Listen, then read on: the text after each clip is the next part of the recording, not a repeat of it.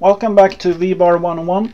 First thing we're going to do today is to go over the TX calibration step. Please note that uh, it's important to do the steps in order. I mean, I don't look at the servos now, we haven't come to that step. Don't bother about sensors and which way they're working.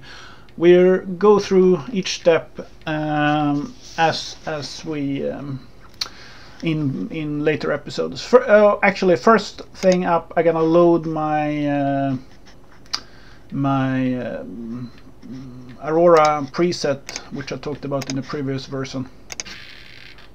You will see up now I'm connected and as soon as I load the preset it will start to send the information over to the helicopter.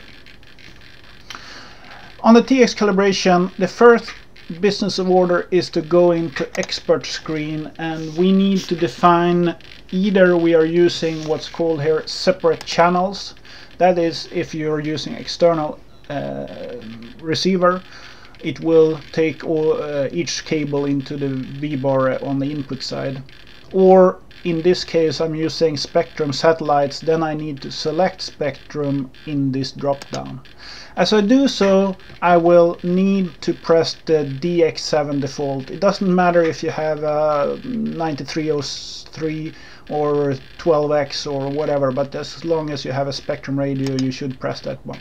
What happens then is actually setting the channel numbers. These are uh, the satellites are transmitting and this is the order which is signal coming in.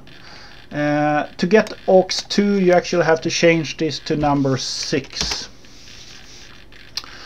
Also, since this is a new setup, I'm gonna do prepare bind. And uh, what that does is next time the V-bar is restarted, it triggers the bind process of the receivers.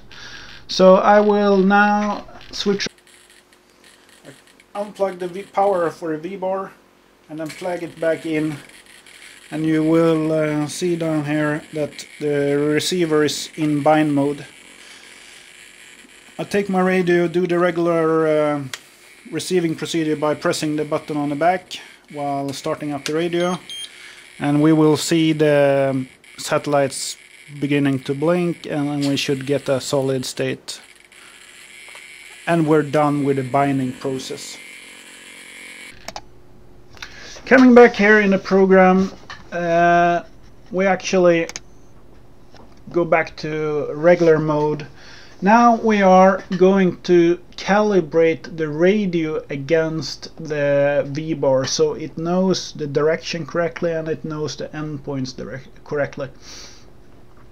Uh, there is a, a compiled list of uh, radios on the V-bar uh, actually the stabi.info site where you can uh, see where you're gonna in the general range where where servo reversed and such things are going to be. I'm gonna show you here how to do it uh, from start. First of all, let's check uh, where we have aileron and I just moved the aileron and as you can see it actually moves the correct direction right and we have 100% this radius pre-programmed. Actually I have 101% on the left so I need to lower the ATV on that side. Elevator, push it forward and it should go to push, push it, pull it backwards and it should go to pull. pull. Same thing with rudder, left, right, we're good there. Collective going positive, negative and we're good there. Also you should, um, if you have, depending on which speed controller, you can calibrate the throttle speed controller. You will see the number here. I'm not going to do that in this uh, particular, but it's the same thing if you have um, a full range of throttle.